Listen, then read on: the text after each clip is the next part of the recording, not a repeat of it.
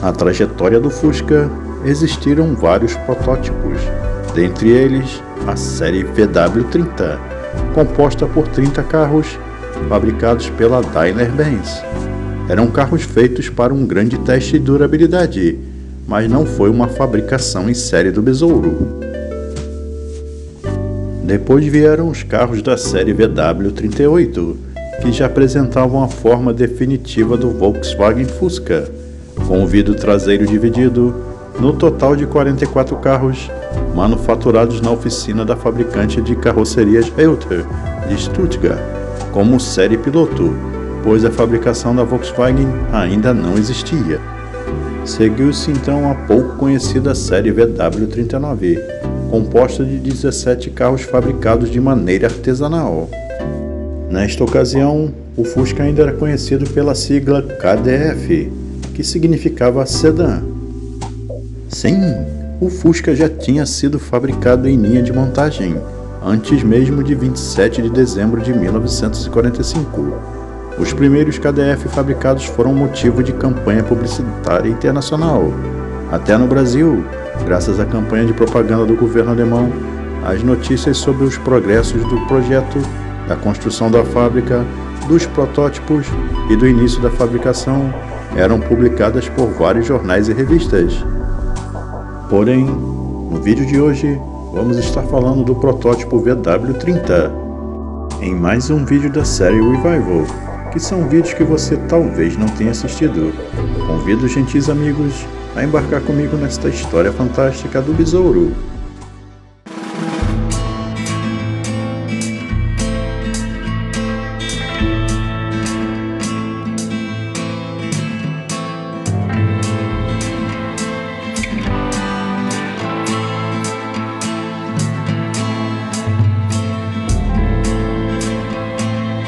Protótipo W30, o embrião do Fusca.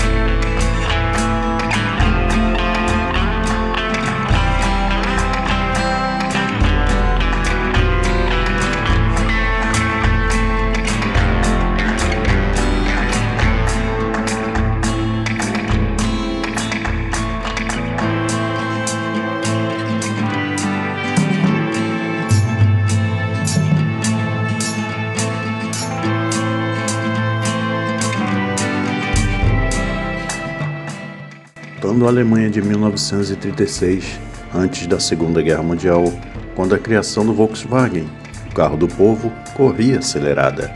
Depois de construir os primeiros protótipos de forma bem artesanal no seu escritório de projetos em Stuttgart, chamados V1, V2 e V3, Ferdinand Porsche partiu para a produção de uma série de 30 automóveis, destinados a teste de estrada. Batizados de W30, esses novos protótipos foram feitos na fábrica da Daimler-Benz, em Sinderfingen. Já traziam praticamente todas as características mecânicas dos futuros Fuscas, mas ainda faltavam os toques finais na carroceria, brilhantemente desenhada por Erwin Komenda. Os 30 exemplares dos protótipos W30 foram testados sem pena, a partir de 1937, percorrendo 2,4 milhões de quilômetros de estradas que iam desde as velozes autobahns até trilhas enlameadas ou mesmo caminhos a 2.500 metros de altitude. Assim, ajudar a desenvolver a famosa robustez dos futuros Volkswagen. Concluído o ciclo de testes dos W30, foram criadas novas séries de protótipos, os V303, VW38 e VW39, com as formas finais do Fusca Split, que conhecemos hoje. Já os W-30 sobreviventes continuaram a ser usados em várias finalidades pela equipe do Dr. Porsche, até que, em 1942, veio a ordem para que todos fossem destruídos, um procedimento até hoje comum nas fábricas.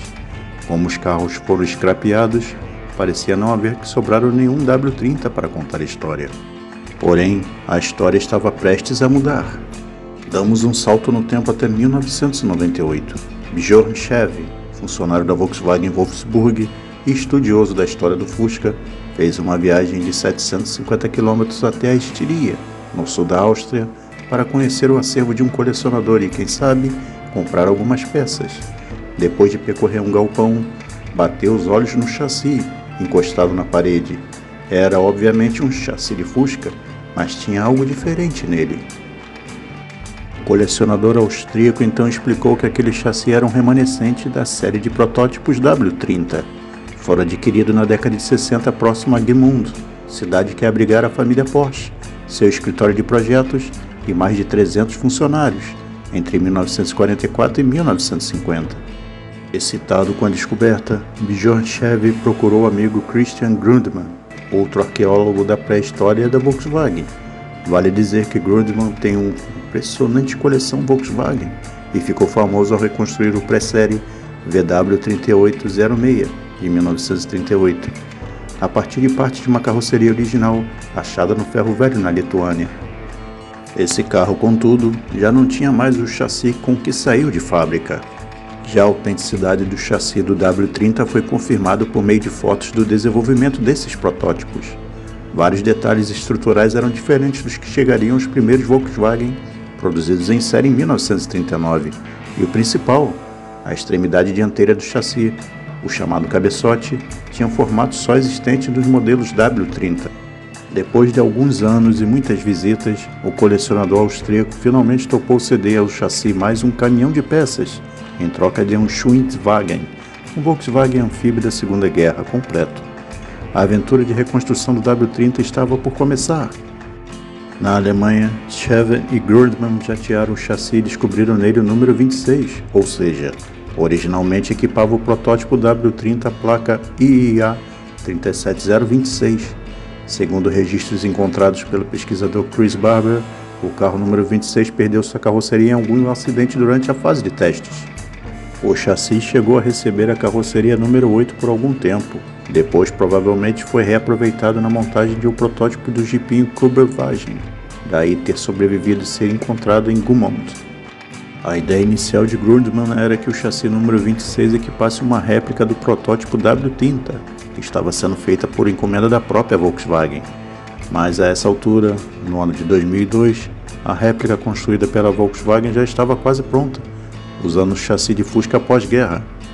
Começaram então a restaurar o chassi W30-26 e montar a mecânica, usando o estoque de peças da KDF Wagen, acumulados ao longo de décadas.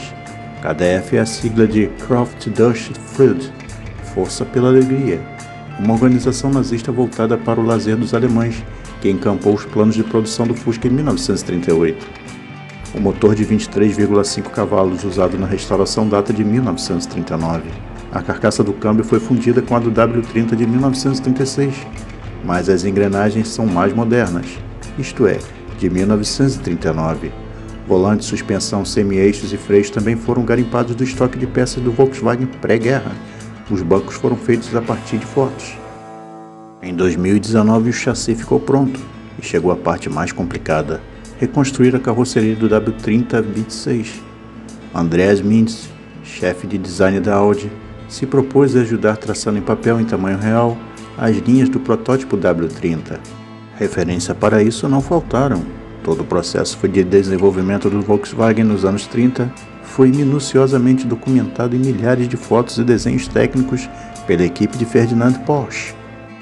Apesar da silhueta parecida, nenhuma linha do W30 coincide exatamente com a dos primeiros Fusca de série.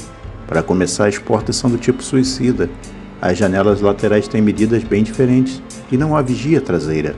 Aberturas para a refrigeração do motor ocupam o lugar do tradicional vidrinho bipartido, modelo split, os vincos e ressaltos estruturais do W30 já lembram os que seriam usados nos besouros de produção normal, mas passam por outros pontos da lataria. O capô dianteiro e a tampa traseira têm aberturas diferentes daquelas adotadas nos Volkswagen de série. Assim, foi preciso construir uma carroceria inteiramente nova, a partir do zero. Para a difícil tarefa, e Grudman procuraram o ateliê René Grub Restoration, em Wolfsburg, a 80 km de Berlim. Restaurador de superclássicos, Gruss é um artista de chapa conhecedor dos processos usados pelos encarroçadores dos anos 30. Aproveitando as facilidades tecnológicas do século XXI, os desenhos e fotos foram transformados no modelo em 3D, em computador. Depois que as proporções foram conferidas várias vezes, chegou a vez de montar um molde de madeira, em tamanho real, usando nada mais nada menos que 30 lâminas verticais, dispostas a 10 centímetros uma da outra. A partir daí foram cortados moldes de papelão e depois a carroceria começou a ser construída, na base do martelinho e da solda, a partir de folhas de aço com não mais de que um milímetro cada. No total foram mais de 40 desses retalhos, martelados, soldados e remartelados. Depois de longos cinco anos de trabalho intenso e criterioso, o carro ficou finalmente pronto. Falta acertar o tom de cinza com que a carroceria será pintada, e com tinta de nitrocelulose, como antigamente, sem o brilho intenso dos esmaltes atuais. Agradecemos a todos os gentis amigos que deixam seus comentários elogiando nosso trabalho. A nossa missão é resgatar a história do carro, tanto do Brasil quanto do mundo. Até a próxima, pessoal!